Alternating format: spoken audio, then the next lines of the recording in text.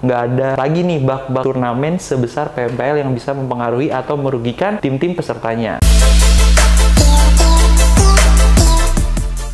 Halo Sobat Grid Games, balik lagi di GG Info bareng gua Randi. Turnamen PPL ID Spring 2022 akan segera memasuki ke babak Grand Final. Tapi di fase regular season kemarin ada cerita menarik sekaligus disayangkan lah buat uh, turnamen sekelas PMPL ID karena telah terjadi bug damage di turnamen tersebut. Sebelum gua kasih tahu detail terkait bug damage-nya, kalian harus subscribe dulu channel YouTube Grid Games dan nyalain tombol notifikasinya supaya kalau ada update video terbaru kalian gak ketinggalan. Oke, jadi bug damage ini pertama kali terjadi di week ketiga, day keempat, tepatnya di pertandingan kelima. Jadi waktu itu situasinya ada BTRRA, Boom Esports, sama Onyx Esports yang lagi rebutan atau lagi berada di fase akhir pertandingan. Jadi mereka kayak lagi rebutan buat dapetin WWCD. Nah, salah satu roster BTRRA yaitu Yuhai kayak mencoba untuk nembak ke arah salah satu roster Onyx Esports yaitu Nick. Kalau misalnya kalian lihat di video videonya, Uhaik tuh udah ngarahin tembakan dan senjatanya tepat ke arah si Oniknik ini. Cuman si Oniknik ini kayak nggak mati-mati, jadi kayak tembakannya tuh seakan nggak ada damage-nya. Dan justru malah Oniknik yang berhasil membalikan keadaan dan ngeratain tim BTR Red Alien. Bug juga kembali terjadi di hari selanjutnya, yaitu week ketiga, hari kelima. Kali ini situasinya ada RRQ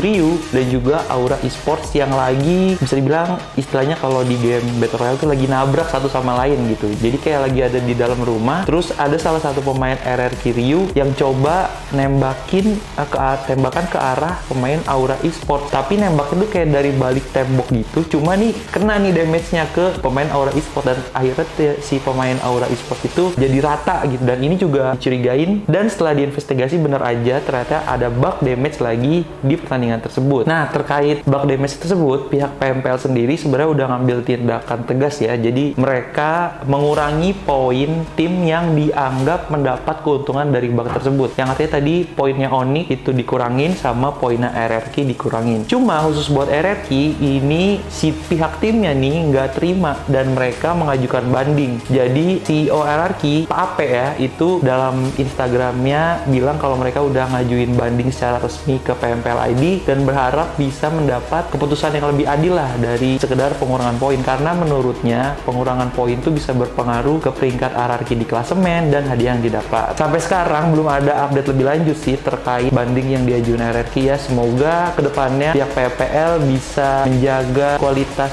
game PUBG-nya lah supaya nggak ada lagi nih bug-bug turnamen sebesar PPL yang bisa mempengaruhi atau merugikan tim-tim pesertanya. Oke, Sobat Good Games, itu dia tadi GG Info tentang bug di PMPL ID Spring 2022. Sebelum pamit, gue pengen ngetin kalian buat subscribe channel YouTube Grid Games, terus nyalain tombol notifikasi notifikasinya. Jangan lupa juga buat follow semua media sosial Grid Game dan kunjungi situs games.grid.id. Kalau gitu, gua Rangi pamit. Sampai ketemu di video selanjutnya. Stay game.